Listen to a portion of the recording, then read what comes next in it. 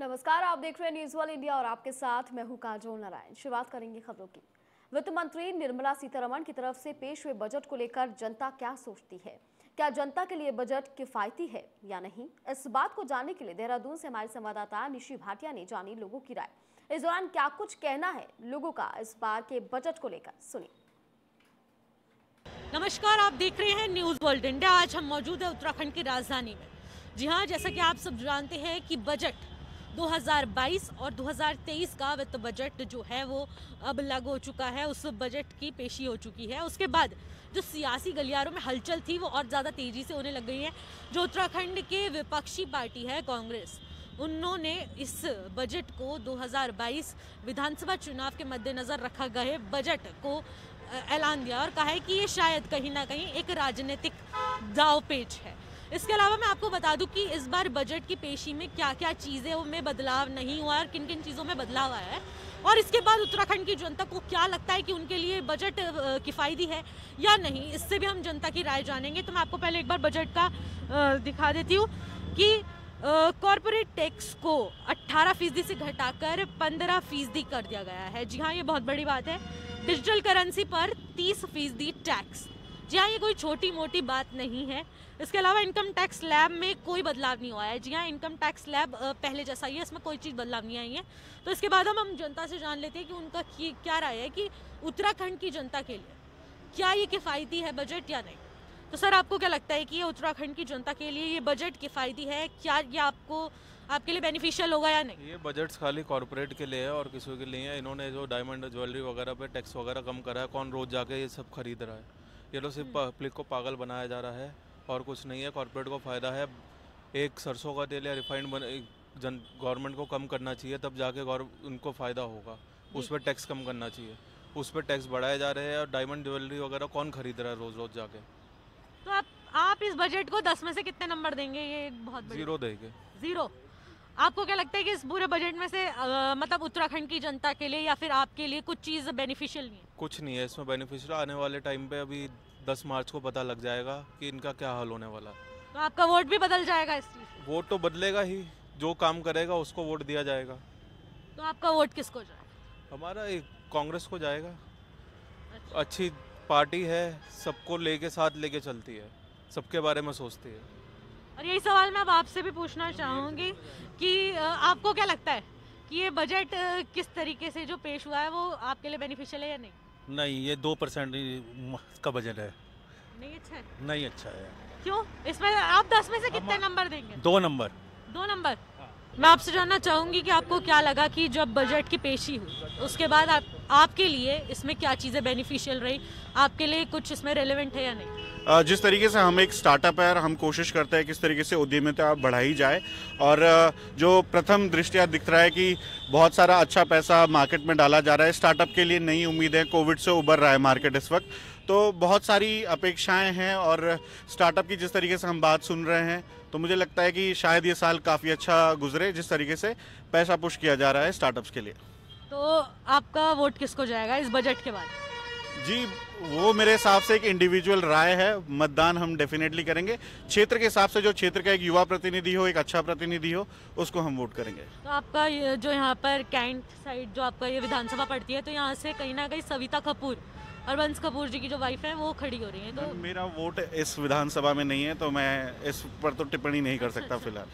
तो फिर आप किस पार्टी के किस पार्टी को वोट देना? जिस तरीके से अभी हम देख रहे हैं कि युवा मुख्यमंत्री के नेतृत्व में प्रदेश में सरकार चल रही है और काफ़ी इफ़ेक्टिव काम हुआ है। तो मेरे हिसाब से धामी जी इस वक्त वापस आ रहे हैं और काफ़ी अच्छे तरीके से वापस आ रहे हैं।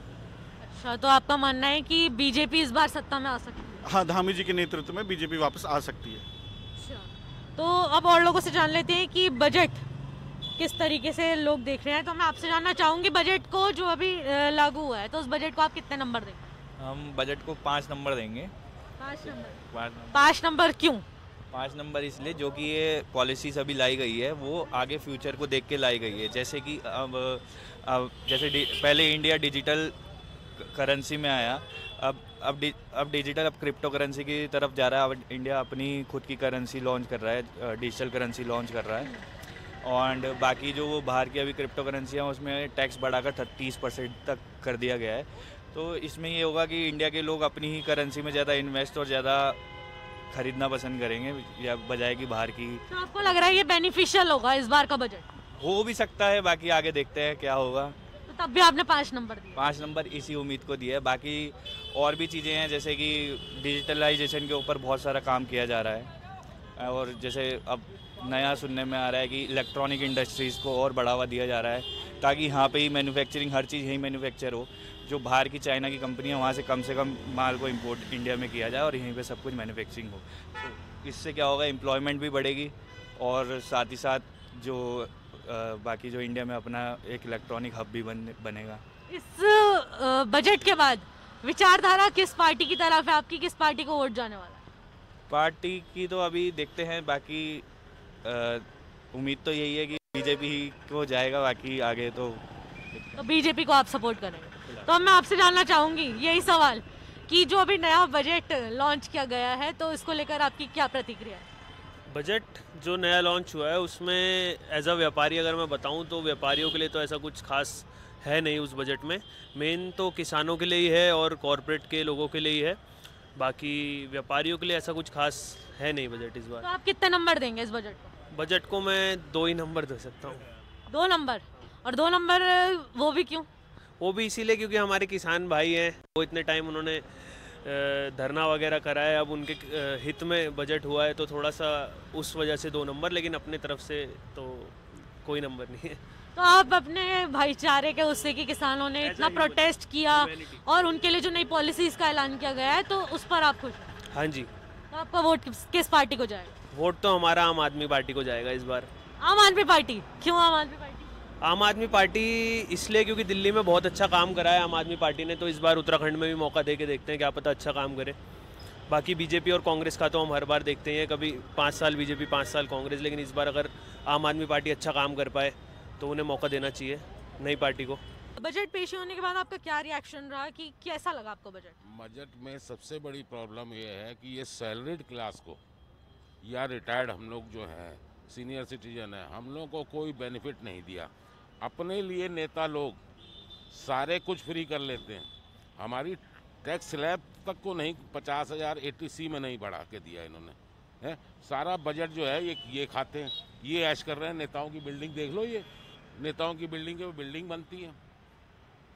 हम लोग को क्या मिला बजट से? गरीब मतलब एक मीडियम क्लास को क्या मिला? कुछ नहीं मिला। पेट्रोल देख लो कहाँ जा रहा है। डीजल, उसमें कुछ नहीं बोले। गैस सिलेंडर नौ सौ बीस रुपये का। हैं?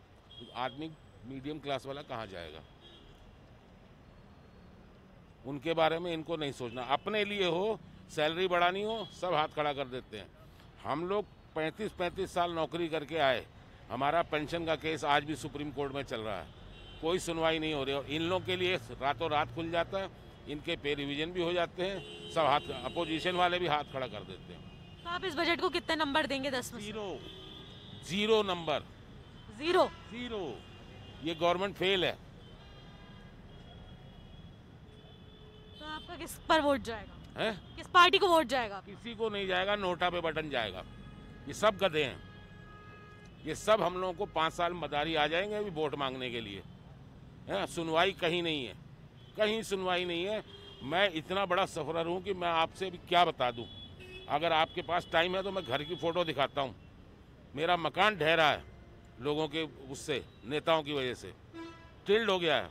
मैंने डीएम एमडी ये आपके वीसी सेक्रेटरी सबसे मिल लिया। चीफ मिनिस्टर ऑफ़िस में हो आया। कोई सुनवाई नहीं हो रही। मेरा मकान गिर जाएगा, मैं मर जाऊँगा किसी दिन। और ना हो तो आप मेरी मकान की फ़ोटो देख सकते हैं आके। देख लीजिए, मकान ऐसा हो चुका।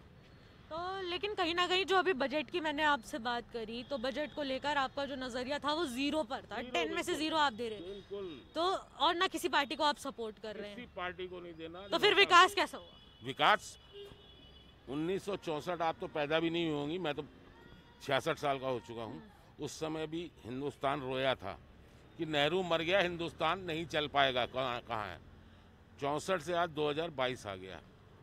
हिंदुस्तान चल रहा है आप भी चल रहे हो, वो भी चल रहे हैं, ये भी चल रहे हैं। किसमें इन्होंने वो दिया? और आज की डेट में बजट रह गया गया, इनको नंबर क्यों दो? बजट तो सिर्फ़ नाम के लिए रह गया अभी आप अप्रैल से देखना, अभी से माल हर चीज़ होल्डिंग हो चुकी है। शुगर अंदर है, सिगरेट अंदर है, सब कुछ अंदर है, ब्लैक में मिल रही है। जिसकी मर्ज़ी आती है, अमूल वाला दूध जो है वो साल में तीन बार बढ़ाता है। बजट किस बात का? तो इनको किस लिए नंबर दो? ये तो पब्लिक को बेवकूफ़ बनाने का तरीका है। पब्लिक बेवकूफ़ है वोट देगी हम नहीं देंगे। किसी पार्टी को नहीं देंगे। तो आप कहीं ना कहीं बीजेपी के खिलाफ नज़र आ रहे हैं। नहीं मैं सारे कांग्रेस वाले भी ऐसे ही हैं। कांग्रेस वाले कौन से दूध के धुले हुए हैं? हमने लोगों से बातचीत की और आखिर में जो निर्णय निकल कर आया है वो बेहद दिलचस्प है कि जो जनता है जो व्यापारी हैं जो रोज़मर्रा का काम कर रहे हैं उनके लिए जो बजट है वो काफ़ी हद तक किफ़ायती नहीं करार दिया गया है। ये बेहद दिलचस्प होगा कि क्योंकि ये बजट किसी भी पार्टी की जो वोट्स हैं, उनकी काया पलट कर सकता है और ये रोमांचक रहेगा चौदह फरवरी को देखना कि क्या, कितने वोट्स जो हैं, वो आपस में बढ़ जाएँगे इस बजट के बाद। फ़िलहाल वीडियो जर्नलिस्ट सचिन के साथ मैं निशी भाटिया, धन्यवाद। उत्तराखंड में व्यापारियों की कुल 10 लाख संख्या, यानी कि 100 प्रतिशत जनसंख्या में से 11 प्रतिशत जनसंख्या सिर्फ़ और सिर्फ़ व्यापारियों की है। और ऐसे में किसी भी पार्टी का इतने बड़े आंकड़ों को अनदेखा करना कोई छोटी बात नहीं है। वहीं आने वाले विधानसभा चुनाव को लेकर व्यापारियों की क्या राय है? इसे जानने की कोशिश की देहरादून से हमारी संवाददाता निश्ची भाटिया ने। इस दौरान व्यापारियों का क्या कुछ कहना है? चुनावी माहौल को लेकर आपको सुनवाते हैं। नमस्कार आप देख रहे हैं न्यूज़ वर्ल्ड इंडिया और मैं आज मौजूद हूँ प्रदेश की राजधानी देहरादून में और उसके भी मशहूर बाज़ार में। जी हाँ मेरे मशहूर बाज़ार के बीच में खड़े होने का मकसद आप पूछेंगे तो मैं आपको ये बात क्लियर कर दूँ कि, कि चुनावी माहौल बन चुका है। चौदह फरवरी को चुनाव का आयोजन होना है और लगातार हम संख्या और आंकड़ों पर उन आंकड़ों पर बात कर रहे हैं जो इस मतदान की प्रक्रिया में अहम भूमिका निभाएँगे।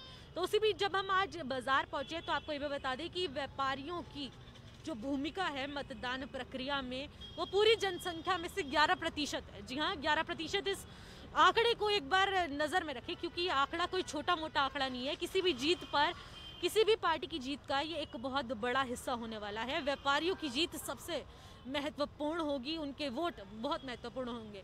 और भाजपा हो या कांग्रेस या फिर कोई भी अन्य दल, इस बड़े आंकड़े को कभी भी नज़रअंदाज नहीं कर सकता। तो इसी बीच आज हम यहाँ राजधानी में पहुँच चुके हैं, मार्केट में पहुँच चुके हैं, जहाँ हम व्यापारियों से बातचीत करेंगे और तमाम लोगों से जानने की कोशिश करेंगे कि इस वक्त व्यापारियों का वोट किसके पास है।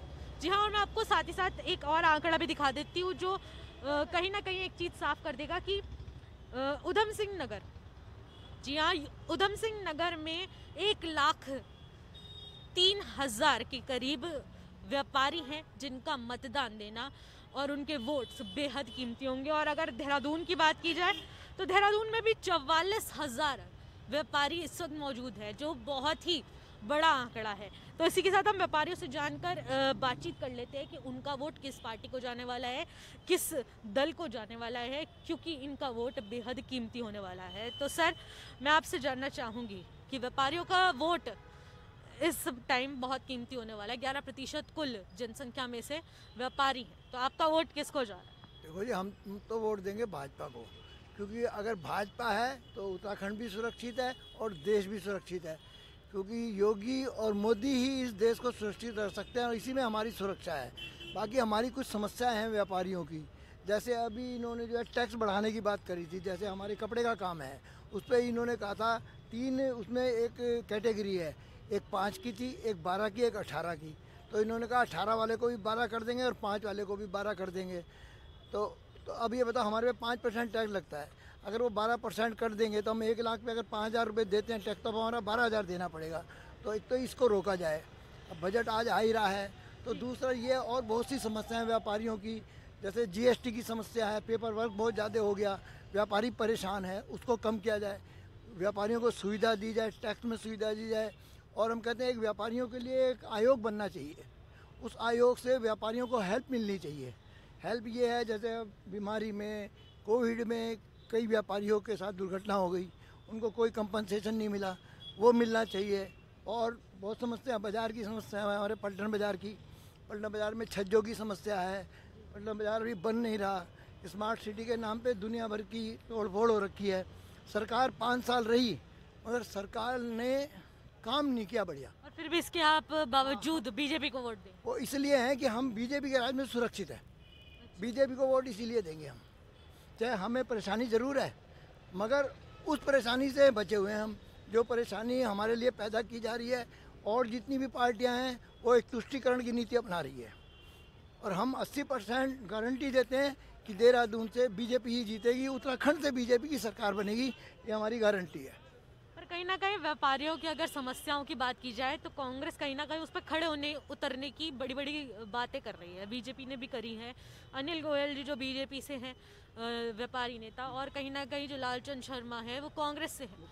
तो उनमें से किसने आपकी सुध लेने की कोशिश की, और उन्होंने कितना काम किया? क्योंकि अब तो चुनाव आ चुके हैं।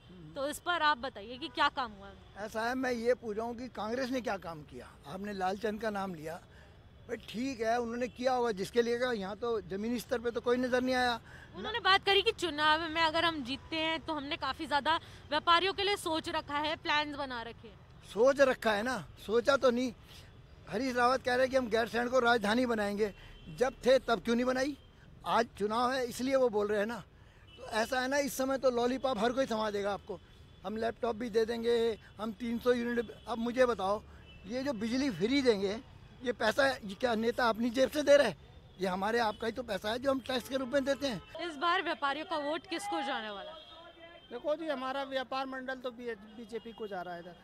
तो पूरे मंडल ने एक सोच बना रखी है बीजेपी? एक तो दो मंडल बने हुए ना एक कांग्रेस की है एक बीजेपी की है।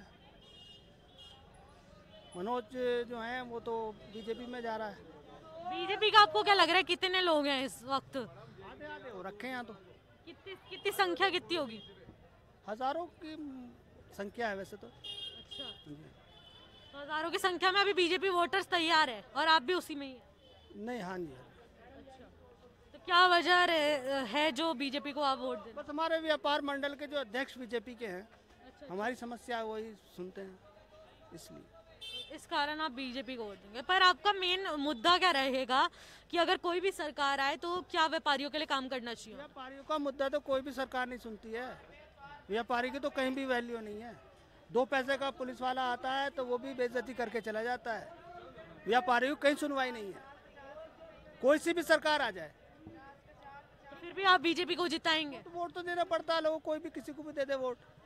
आम जनता के लिए उसकी जहाँ दिल्ली के अंदर उन्होंने बहुत अच्छा स्कूल पे स्वास्थ्य पे और शिक्षा पे और महिलाओं पे हर मुद्दे पे आम आदमी पार्टी दिल्ली के अंदर काम अच्छा कर रही है। तो आम आदमी पार्टी को आपका वोट क्यों नहीं जा रहा है? आप पूरे संगठन के साथ चल रहे हैं। हमारे पास आम आदमी पार्टी का अभी तक। अच्छा। हमारे पास आम आदमी पार्टी का कैंडिडेट कोई नहीं आया मार्केट में। भाजपा कांग्रेस के आ गए? हाँ दोनों आ गए। कल कांग्रेस का आया था आज भाजपा का आया हुआ था। कौन सा नेता आया और क्या क्या वादे करके गए ये जान ये जान लेते हैं वादे तो इनके हम विश्वास क्या करें? वादे तो कर लेते काम नहीं करते ना। वो तो बात सच है पर क्या वादे किए ये जानना बेहद ज़रूरी वादे तो करते रहते हैं हमें कोई विश्वास नहीं वादों पे। क्या है वादे? वादे कुछ भी कर लेते हैं वादों का कोई विश्वास ही नहीं है। क्या क्या क्या कहा? यहाँ बोल लेते हैं अच्छे दिन आएँगे। सबसे बुरे दिन हमें देखने को मिल रहे हैं। कह रहे स्मार्ट सिटी क्या बोला? स्मार्ट सिटी की सड़कें हैं ये। कहीं पे गड्ढा है कहीं पे कुछ है आप दिखा सकते हैं। सड़कों पे लोग पीछे आज से छः महीने पहले इन्होंने कहा स्मार्ट सिटी की सड़क बना रहे हैं उसमें कोई बेरियल नहीं लगा। उसके अंदर एक लेडीज़ गिरी उनके पैर में चोट लगी। उस लेडीज़ के घर में कोई कमाने वाला है नहीं है सरकार देखने नहीं आ रही कह रही कि हम स्मार्ट सिटी का प्रयोग करिए स्मार्ट सिटी का बाज़ार ये बाज़ार में था एक टाइम पे इतनी सी जगह में आदमी अपनी दिहाड़ी बना के ले जाता है। इस टाइम पुलिस वाले आते हैं अपने हफ़्ते वसूली करते हैं किसी को कोई सुविधा नहीं है सरकार। हफ़्ता वसूली का यहाँ पर चल रहा है पुलिस वालों का? सब करते हैं मैडम हर जगह भ्रष्टाचार तो हर जगह है। मतलब क्या है हिसाब किताब भ्रष्टाचारी का? ये भी मैं आपसे जान लेती हूँ क्योंकि आप लोग यहाँ पर मौजूद रहते हैं। सरकार से कोई सुविधा नहीं मिल रही है बस। नहीं मिल रही आपको नहीं कुछ नहीं मिल रही है। तो चाहते क्या आप वैसे सरकार से कि क्या चाहिए? आम आदमी पार्टी बढ़िया काम कर रही है दिल्ली में। लेडीज़ों के लिए फ्री सुविधा है सब कुछ है। बसों में इसमें उसमें स्कूल उन्होंने सरकारी बढ़िया कर दिए हैं। यहाँ पे कोई काम नहीं हो रहा है। हम बाज़ार में आ चुके हैं हमने व्यापारियों से बातचीत की। तो आप माहौल देख सकते हैं कि सबका मानना ये है कि बीजेपी के वोटर्स ज़्यादा हैं। दो पार्ट्स में जो व्यापारी हैं, वो बढ़ चुके हैं। एक बीजेपी के संगठन बन चुका है और एक कांग्रेस का संगठन बन चुका है।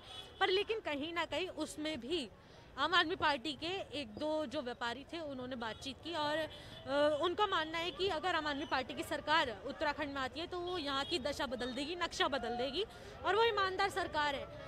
पर एक बात इन्होंने ये बात कही है कि अगर दिल्ली में काम हो रहा है यहाँ उनकी तारीफें हो रही है तो कहीं ना कहीं काबिल तारीफ़ आम आदमी पार्टी है और बीजेपी कांग्रेस पर जनता भरोसा कर रही है तो ये बेहद दिलचस्प है। और लगातार हमने व्यापारियों से बातचीत करके ये एक कंक्लूजन निकाला है कि इस वक्त बीजेपी के वोटर्स जो हैं, व्यापारियों में ज़्यादा देखने को मिले हैं। यानी कि जो 11 प्रतिशत जनसंख्या व्यापारियों की है, वो पूरी काया पलट कर सकती है बीजेपी के उससे भी और कांग्रेस के उससे भी। तो फ़िलहाल इस रिपोर्ट में इतना ही। वीडियो जर्नलिस्ट सचिन के साथ मैं निशी भाटिया। वहीं विश्व स्वास्थ्य संगठन के महानिदेशक टेड्रोस अधनोम ने कहा है कि 10 सप्ताह पहले कोरोना वायरस का ओमिक्रॉन स्वरूप सामने आने के बाद से अब तक संक्रमण के 9 करोड़ से ज़्यादा मामले सामने आ चुके हैं। जो कि 2020 में सामने आए कुल मामलों से ज़्यादा है। गौरतलब है कि साल 2020 में कोविड 19 महामारी की शुरुआत हुई थी। डब्ल्यूएचओ के महानिदेशक ने आग्रह किया है कि ओमिक्रॉन वायरस के अन्य स्वरूपों जितना घातक नहीं है, फिर भी इससे बचकर रहने की ज़रूरत बहुत ज़्यादा है। उन्होंने कहा कि दुनिया भर के ज़्यादातर क्षेत्रों से मौतों की संख्या में बढ़ोतरी की बेहद डराने वाली खबरें आ रही हैं।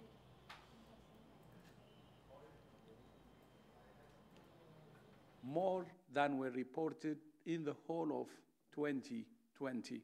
We're now starting to see a very worrying increase in deaths in most regions of the world. We're concerned that a narrative has taken hold in some countries that because of vaccines and because of Omicron's high transmissibility and lower severity, preventing transmission is no longer possible and no longer necessary. Uttarakhand में आने वाले विधानसभा चुनाव के मद्देनजर पर्यवेक्षक जयवीर सिंह आर्य ने sector और zonal magistrate की नगर निगम सभागार में बैठक ली इस दौरान चुनाव शांतिपूर्ण तरीके से संपन्न कराने के लिए अपनी अपनी जिम्मेदारियाँ ईमानदारी से निभाने की बात पर्यवेक्षक ने कही है इसी के साथ ही सभी को आवश्यक दिशा निर्देश भी दिए गए। मंगलवार को नगर निगम सभागार में आयोजित बैठक के दौरान जोनल और सेक्टर मजिस्ट्रेट को बैठक के दौरान पर्यवेक्षक जयवीर सिंह आर्य ने बताया कि चुनाव आयोग ने 11 फरवरी तक किसी भी प्रकार की राजनीतिक रैली धरने प्रदर्शन पर रोक लगाई है। इसलिए चुनाव को सुरक्षित संपन्न कराने की ज़िम्मेदारी उनकी और बढ़ती जाती है।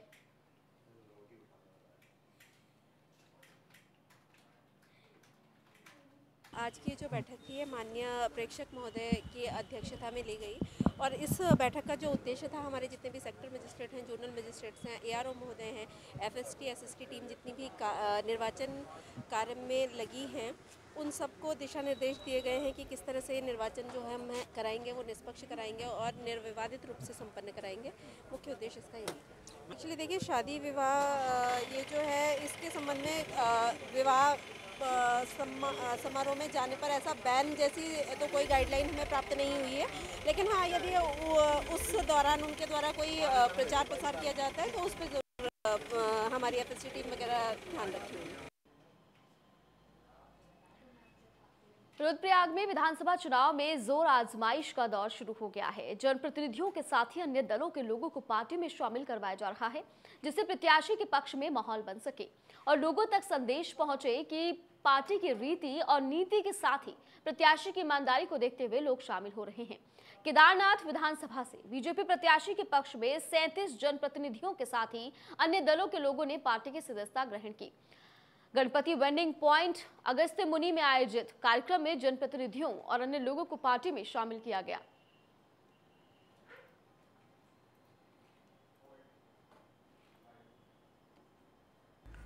केदार धाम का ही नहीं हम पूरी केदार घाटी का भी चाहते हैं। इसलिए यहाँ की जनता ने मन बनाया है कि हम अपना जो है भाजपा का विधायक यहाँ से भेजें क्योंकि जब घाटी में भी और अन्य विकास होंगे तीर्थाटन है आपका और पर्यटन की अपार संभावनाएँ यहाँ पे जड़ी बूटी है जैविक खेती है तो इस तरह से होम स्टे का है तो उसको यहाँ पे करने का हमारा प्रोग्राम है। भाजपा में शामिल होने का जो मेरा मुख्य उद्देश्य है वो जो हमारे माननीय प्रधानमंत्री नरेंद्र मोदी जी हैं उनके कार्यों को जो हमने देखा और जो अभी बहुत ही कम समय में हमारे युवा मुख्यमंत्री पुष्कर सिंह धामी जी है जो उन्होंने किया है उसको देखते हुए पार्टी की विचारधारा को देखते हुए मैं भाजपा में शामिल हुआ बोल। हमारी जो भाजपा की प्रत्याशी है श्रीमती शैला रानी रावत जी इस बार हम उनके लिए तन मन धन से और उनको बड़े मार्जिन से जिताने में हम अपना योगदान देंगे देखिए, मैं जो हमारे यशस्वी प्रधानमंत्री नरेंद्र दामोदर मोदी जी हैं और जो हमारे जो आदरणीय मुख्यमंत्री जी हैं, पुष्कर धामी जी हैं, वो जिस प्रकार से आज विकास कार्य कर रहे हैं, उन कार्यों को देखते हुए मैं बहुत प्रभावित हुआ और आज हम लोगों ने भारतीय जनता पार्टी ज्वाइन करी है। और निश्चित तौर पर ये कि हम लोग भी काम करेंगे और पार्टी देंगे। और विधानसभा चुनाव में अपनी पूर्ण भागीदारी निभाएँगे। और इसी के साथ फ़िलहाल खबरों में इतना ही। आप बने रहिए न्यूज़ वर्ल्ड इंडिया के साथ।